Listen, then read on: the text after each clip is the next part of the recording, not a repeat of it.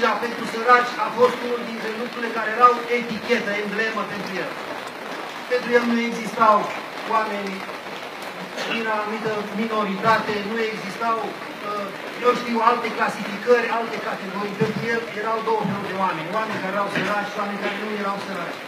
Oricine a cerut ajutorul, a primit ajutorul, uneori făcea milostenii pe care nu le înțelegea nimeni, dar le făcea pentru că a trăit din bucuria care venea din bucuria celuilalt. Dragostea cu sufletul curat rezona înspre cei și de la cei care la rândul lor aveau sufletul curat. A iubit puritatea copilăriei, poate ca pe ochii din cap. Când vedea un copil, era în stare să se joace cu el.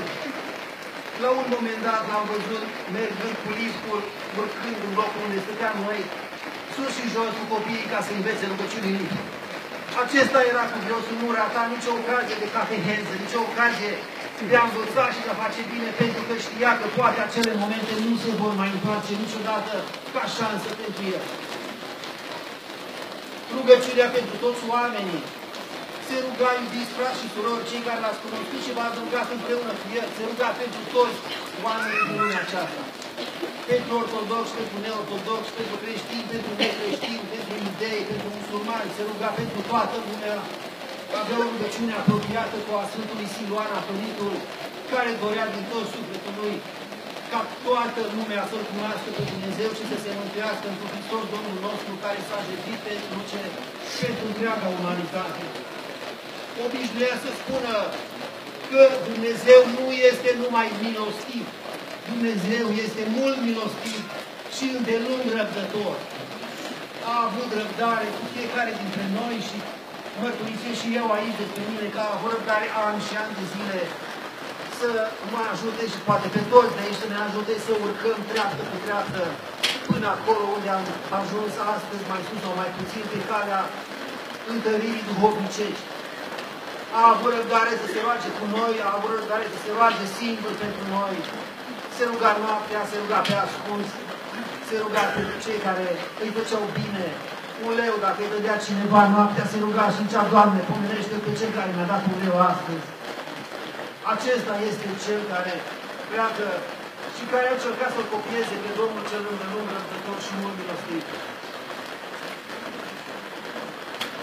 în Faptele Apostolilor, iubiți frați și surori, în capitolul 15, versetul 28,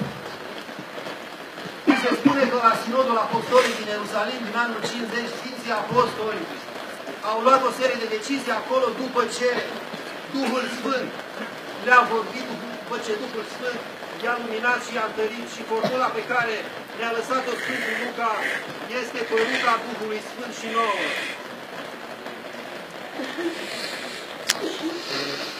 De multe ori îl întrebam câte ceva, câte un cuvânt, la lucruri care nu erau ușoare, nici de înțeles, nici de trăit, la lucruri teologice. Nu era specialist în teologie, avea patru clase, dar era un țăran imperial. La aceste patru clase se rugau clasele pe care le-a adus Duhul Sfânt. Se ruga în sufletul lui și zicea, lucrul acesta nu este de la Domnul. Nu știa să explice poate totdeauna de ce. Iubiți frați și sorori, ca la Sinodul Apostolic, cuviosul simțea lucrarea Duhului Sfânt. Părintele Ioanis Romanidis, marele teolog contemporan din Grecia, spunea că la sinoadele ecumenice s-au adunat Sfinții Părinți care foarte mult nu erau teologi. Și până când Duhul Sfânt nu a vibrat în inimile lor, ei nu au spus, da, aceasta este formula crezului. Nu formulele raționale, nu formulele elaborate, lucrurile, eu știu, intelectuale au definit lucrarea părinților la sinoadele ecumenice și nici a cuviosului, ci lucrarea Duhului Sfânt din care simțea că da, acum este lucrarea Duhului Sfânt, pentru că simțea vibrația Duhului Sfânt și acolo unde este Duhul este adevărul și unde este adevărul este mântuirea și este calea.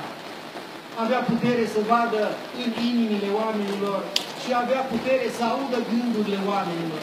Nu știu dacă ați avut experiența să-l vedeți și să simțiți cum în preajma lui, gândindu-ne la ceva sau la altceva, începea să se sputure, începea să se uite strâmb și să se strâmbe, pentru că auzea glasul, auzea gândurile noastre. În viața Sfântului Gavril din Kazan, care a trăit în Rusia acum 100 de ani, Se spune că într-o perioadă când a fost foarte bolnav și a stat în toată aproape 5 ani și de aproape numai cu părtășanie, Dumnezeu i-a dat puterea de a auzi gândurile oamenilor. Și mărturisea el că nu asta a fost extraordinar și foarte greu și totodată. Și faptul că nu știa la care gândul să răspundă, pentru că la unele nu putea să răspundă și la unele nu se cuvenea să răspundă. L-au grănicit Domnul să-i dea această putere, aceste harisme, nu numai de a vedea, ci și de a auzi, și de a simți ultima vibrație a sufletului. Dacă erau oameni cu necazuri, sunteți aici și știți foarte mult că uneori, v-am spus, este la cutare sau la cutare dintre frații noștri. Sunați-l pe cutare și spuneți că am rugat să gândea pe cuviosul la telefon. Cuviosul nu avea nevoie de multe explicații. În 30 de secunde rezolva problema și dădea explicații, dădea rezolvări, dădea soluția cu o precizie mai mare decât cel mai bun chirurg posibil. Pentru că Duhul Sfânt îi descoperea indiferent de distanța în care se afla, ceea ce trebuia să știe omul și ce era de folos pentru mântuirea lui. Iubiți frați și surori, în uh, perioada renașterii, în uh, Occident a apărut ideea că omul este măsura lucrărilor sale.